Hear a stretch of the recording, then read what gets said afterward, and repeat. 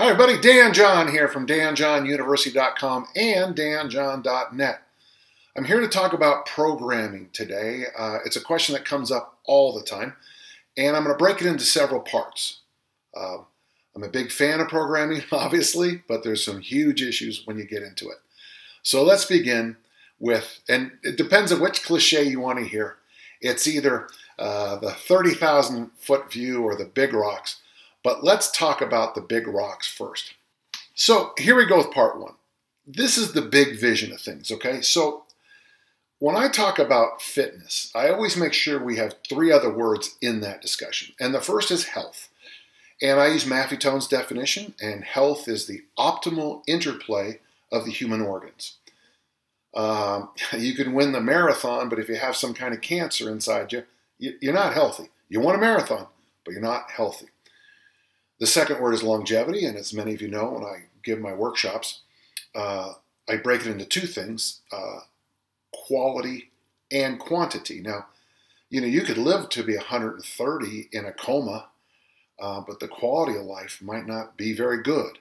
So you got to make sure you balance both of those, and that's that's a big issue as I as I move into my senior years. Wow, it's hard to say that sentence out loud, but uh, the quality of life issue is very big to me. Uh, in my family, we don't have a lot of quantity. Now, the next word is performance, and that's what I specialize in. I, I'm good at getting people, when their name is called, when they get tapped on the shoulder, they can go in and they can play. Performance is when someone calls your name and you have to step up and perform. Uh, that's why I love going to Broadway and talking to people who danced and sang on Broadway. Uh, they have a little mark you have to stand on, and then that curtain opens, and it's time to, to dance. So, performance is what I do. And the final word is fitness, and that's the most confusing of all. Uh, I don't like the definitions of fitness I see anymore. Uh, fitness comes from the original, the Old Nordic. Fitness means to knit, to be knitted. And the best way to think of fitness, really, to explain it, is to look at what uh, you do with a jigsaw puzzle. The pieces fit. So for me, a well knitted person is a fit person. I mean, you can have six pack abs, and you can have the big pecs and the deltoids and all that, and be a horrible human being. Uh, there's that one guy who beats his girlfriends and stuff that I that I just heard about the other day, and it's like, yeah, he might have a six pack, but he's not a very good person. So, so when I look at fitness, when I look at programming, I want to make sure I balance all four of those for you, my client, or for me when I'm coaching myself. And it sounds so simple when you say it, but sometimes you have to make decisions. Like, I know that performance, stepping up and performing, has left me with some issues that really did impact my health in some ways. Uh, when I played high school football, I fell on this elbow and, and, broke five pieces off. It is interesting. People watch me press online. They, they'll always say, Why don't you fully lock out? And I'll go, Well, because that was my lockout for the bulk of my life until I had this really nice surgery that uh, took those five chunks out. I wish I had kept them. I don't know where they are right now. Um, so before we even get started talking about a program, I want to make sure we're we're looking at your health. Are you healthy? We're looking at your goals, at performance or fitness. And then are we looking at longevity? Is this going to be stuff that's me around for a while? So that's the very first thing I start with. And I have two tools that will help you do that. My two favorite tools for helping people in basically every area of life uh, are Shark Habits and Pirate Maps. And let's talk briefly about both. Shark Habits comes from Robb Wolf. One bite and it's gone. You'll notice I wear this shirt a lot. It's because I bought 16 of them because that's all they had in my size in North America. Uh, a couple weeks back, I found this nice little V-neck shirt that fit nicely on me, so I bought nine of them. Uh, when I buy things, I I buy them and I'm done with it. If you ask me to go to your wedding, I'll look at it. If I can fit it in, it's yes. If, if I can't, it's no. Shark habits, one bite and it's gone. They're not unimportant, but anything that comes to me in a binary choice, I try to answer it and get rid of as fast as you can. This morning, uh, we woke up, we pulled some chicken out, we had some frozen chicken, and tonight for dinner, I'm going to do that, do this, do that, because we have a menu we follow and we stick to the menu. That allows me to keep my brain free to do all kinds of other things. So, shark habits are anytime you have a chance to say yes or no to anything, choose, get it done. Uh, when people ask me to do podcasts, I answer yes or I answer no. I get right back to them because I don't like things floating around in my head. Every morning I put together my little to do list, which is right behind here. And when I get up in the morning, when I go to bed at night, I write down my to do list so that when I it's out of my head. So when I wake up in the morning, boom, there it is. Shark habits. Now, pirate map's a little bit different. A pirate map comes from Pat Flynn, and Pat tells us that what people want in a training program is this go to St. John's Island, find the white coconut tree, take seven paces to the west, dig down, there's buried treasure. They don't want a 700 page book. So, what we put together are these things we call daily pirate maps. Mine starts off, number one, it's last night. My day starts with the night before. I want to get a good night's sleep, so one, I prepare the coffee because I wake up to the smell of coffee. And two, I make my little to do list. That clears off my head. I wake up to the smell of coffee. I start a great day. Number two, I try to start every day with just a moment of gratitude. And there's a lot to be grateful for. Third thing, I do a daily one minute meditation from the app One Moment Meditation, free online. I often go up to 15 and 20 minute uh, meditations, but I try to get that one minute every day. Number four is I strive to eat 8 to 12 different vegetables every day, not servings, just vegetables. Um, and I do that usually at breakfast. And then number five is my weekly training program to get me to my goal, which is a dance at my granddaughter's uh, wedding. Pretty simple.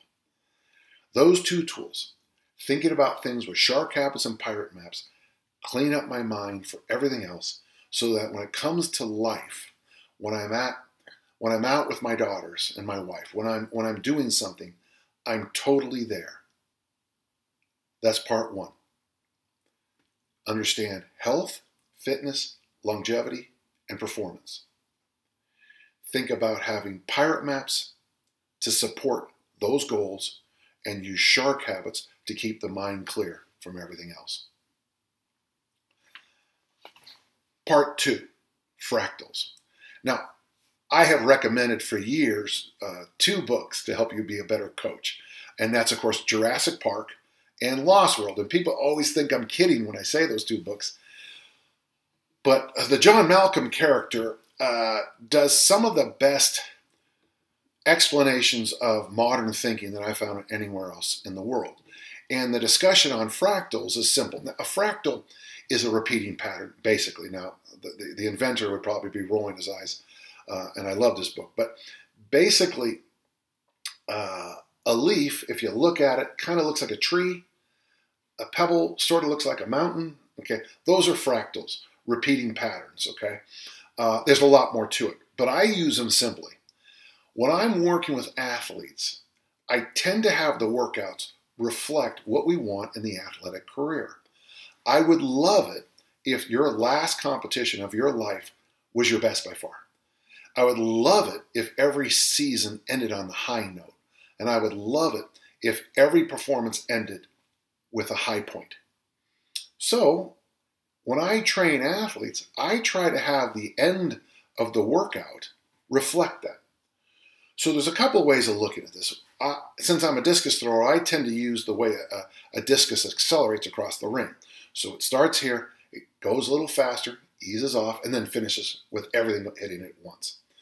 So when I'm looking at so coaching you for the season, I might say, okay, we're going to train hard, build up, ease off a little bit in the late preseason, and then build up to a big peak. When I look at that in an athletic career, it's like, okay, we're going to have that early, wonderful time where everything just gets better and better. And then things are going to slow down, but it's fine because I told you it was going to happen. And then we're going to improve from there. So when I train someone uh, day to day, we try to have the last throw of the practice the best throw. Last throw, best throw. So that's the fractal I use when I train athletes. I want you, if you're a, a team sport athlete, to win in the overtime if we have to. It feels really good to win in the overtime in a, in, a, in any sport. It's it's amazing feeling, and it's terrible to lose in overtime. So I try to build up your conditioning so you have extra staying power throughout the rest of the game. And also, too, when I coach team sports, I like to talk about things like overtimes on day one, winning the game, last minute stuff. I focus, as Covey once taught us, with the end in mind. But when I work with everybody else, I use a different fractal, and I use the fractal of life. Now, this is going to be a little negative, but it's okay. You know, we start off kind of little, you know, laying around. We start to crawl. We get up on one knee. We stumble back down. We rise up, and then there's this really nice period of life. And then things start to go off a little bit. We stumble and fall a little bit. And then we have this real long time, really, really long time where we lay around a lot. And in the uh, yoga tradition, we call it savasana. And of course, uh, it's the corpse pose. Uh, we die. So when I train adults, instead of having finishers with adults at the end of the workout, what I try to do is try to mimic what we're doing there. So when we come in, I spend a lot of time crawling around the beginning, uh, Tim Anderson's original strength, and then we build up to half kneeling, and then we put in the middle of the workout one of those workouts you find on my YouTube site, the hangover or the humane burpee or something like that. And then after that, when everyone's huffing and puffing, then they want to know about correctives. Hmm, let's do some bird dogs. Let's do some uh, hip flexor stretches. And then we have a little bump up towards the end, and then we might do just breathing at the end of the program. So, part two is very simple. It is the mental image of how you piece together the day to day to day to day workouts to season to season to season to season to decade to decade to decade to lifetime. I think it's important that the daily workout reflect the vision of overall training. I hope that helps. Part three. Let's get a little bit specific about programming now. There's three big things when it comes to programming. The first can be called a number of things. I, I like repetitions, uh, but it's also known as continuity. And continuity is a nice name for programming. Uh, it comes from the earliest roots of, of, of what we now do in the modern world, from the work of Thomas DeLorme and Watkins. It's PRE, progressive resistance exercise. And when I think about progression, I'm much more than just load. I also think in rep structure, I think in sets, but I also think progressive in movement. Uh, I don't think that's unusual, but I really emphasize it more. Um, the second one, of course, is waving the loads. And this is where things get very difficult. I want you to come in and lift weights. Say you're on a five day a week program. I think if you come in five days a week, 365, well, that would be 52 weeks a year for a decade, good things are going to happen to you, okay? That's not exactly deep wisdom. But inside those workouts, we have to have some shifts and changes. And that's where waving the load comes in. And there's three basic terms. The first one you can you use a calculator to figure out, and that's called volume. And volume really is when you multiply reps times sets times load, and you get this number. Well, is there anything wrong with that number? Well, yeah. If you pick up six pounds 100 times, that's 600. If you pick up 600 pounds one time, that's 600. Well, which one was more beneficial?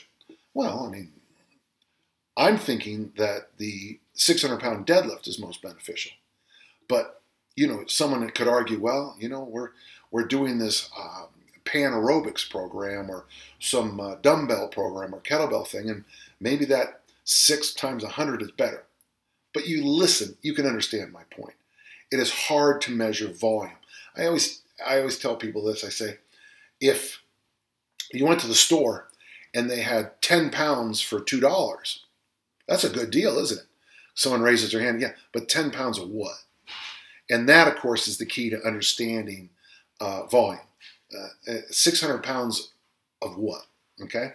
And the next word is intensity, and that, that word used to mean something, but it really it, of all the words that I can use in training, intensity is the one that throws most people off.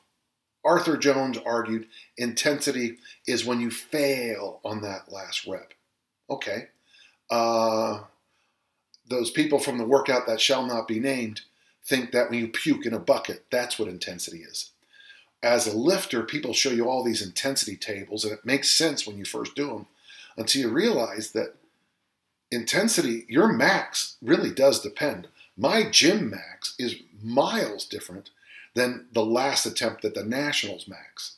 Uh, my students at St. Mary's learn this lesson very quickly when we do that Olympic lifting day, where they have a competition, and that night they're still buzzing from the tension and arousal levels of a true max, max, max in front of in front of a couple hundred people. Ah, uh, basically intensity. Uh, it might be one of those things that when I hear it, I know what you mean. It's one of those things, and it's hard to define.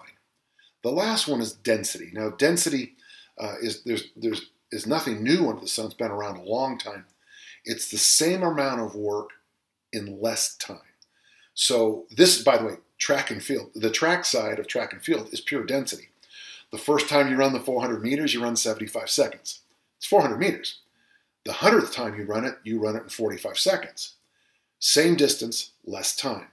And there's and it's got a it's got an older relative where you do more work in less time, and that's when you really are starting to put things together.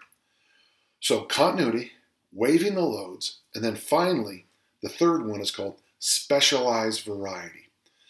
Specialized variety is a, is a fancy way of saying same but different. Uh, when it comes to like if I'm working with a shot putter, we might do three weeks of bench press, three weeks of incline press, three weeks of decline press, three weeks of military press, and then maybe three weeks of uh, padded bench press, and then go back to bench press again. It's the exact same, basically, but different. Uh, it's very easy in the world of pressing, I think, and pulling uh, to, to have a lot of uh, variation. In hinging, I think there's a lot. In squats, you have the goblet squat, the, the front squat, the back squat, the Zercher squat, the overhead squat, some kettlebell variations, but you don't truly have a ton of variations in the squat. And of course, some exercises like the overhead squat, which I think is amazing, has a little, it's to be a little different. So those are the three big tools continuity,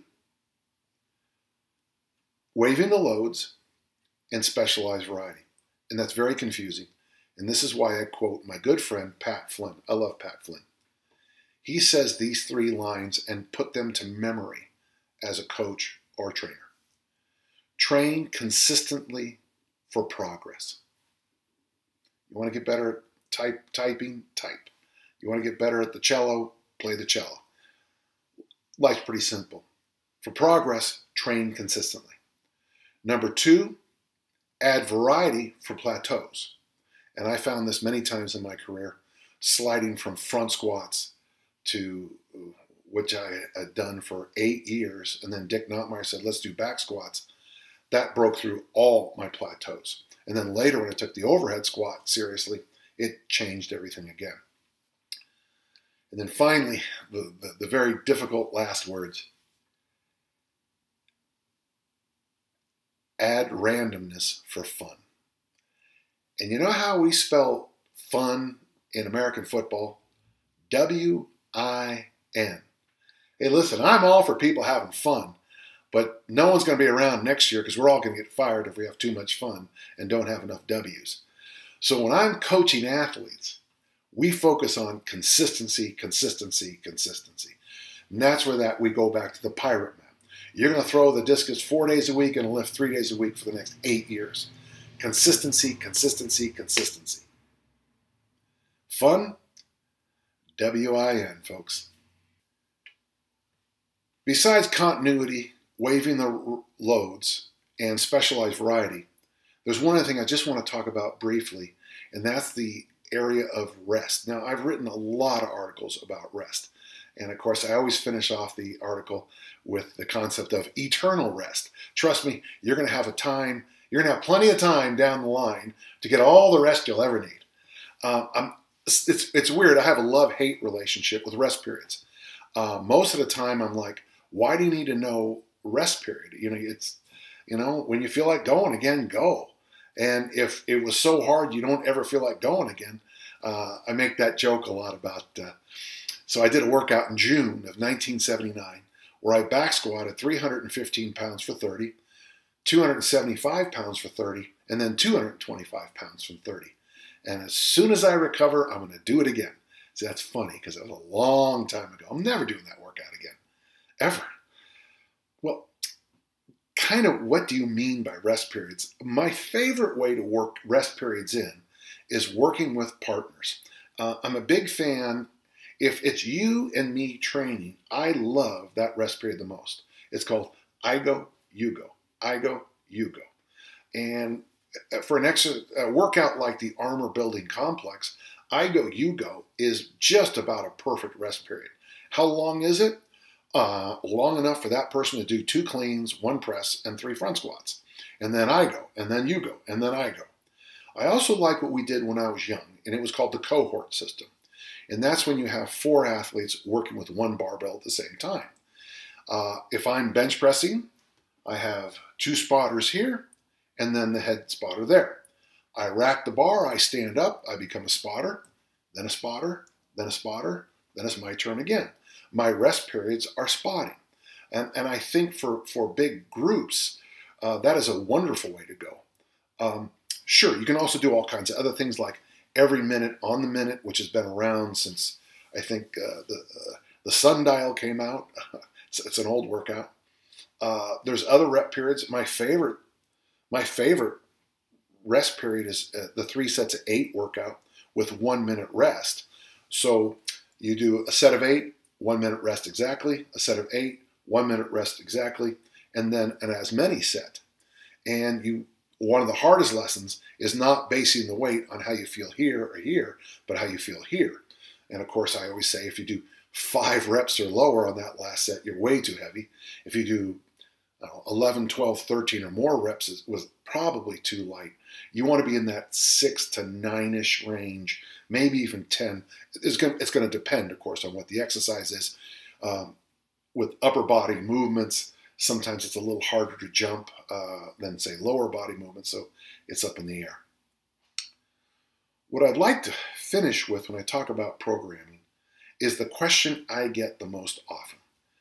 Dear Dan, I'm a low-level BJJ, or I'm a, I'm my my child is a regional tennis player, and uh, my son wants to, you know, and they want to move their children into a sports-specific program.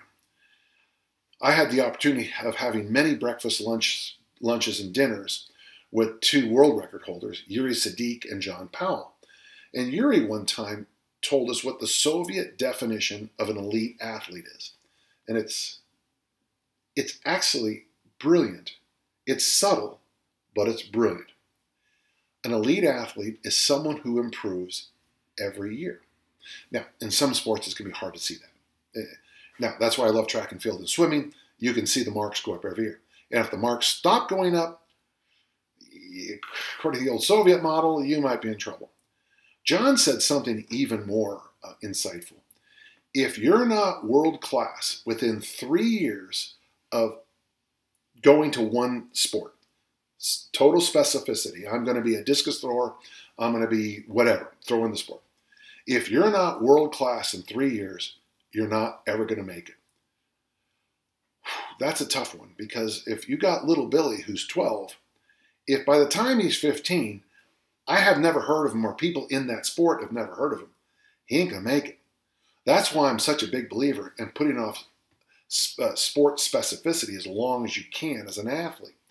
I didn't. I didn't become specific to just the discus until the spring of my freshman year in college. Uh, and even then, I was still Olympic lifting half the year. It wouldn't have been until my senior year where a very odd thing prevented me from Olympic lifting. I got hit in the head with a discus, which is funny to say out loud, but the nice thing about getting hit in the head with a discus is I, I had to change my training completely and I couldn't compete. Uh, the fact that I had a hard time sleeping and, and I don't really remember any of this is another reason. When I look back at that year, that was my first year of total sports specificity. I only threw the discus. For most of us, the basics, the most general things in the world are the best not only for the general population, but for athletes too. It's going to be push, pull, hinge, squat, loaded carry, take care of your mobility, go for a nice walk, do some sprints occasionally, eat vegetables, eat protein, drink your water, get a good night's sleep. Yeah, it's that simple. And only for the thinnest, thinnest edge of the world's population do you need to get more complex. As always, folks, the best place I think you can go is to the workout generator at danjohnuniversity.com. And if you're using it, you have the answers to so many questions. I'm Dan John. Thanks for listening in today.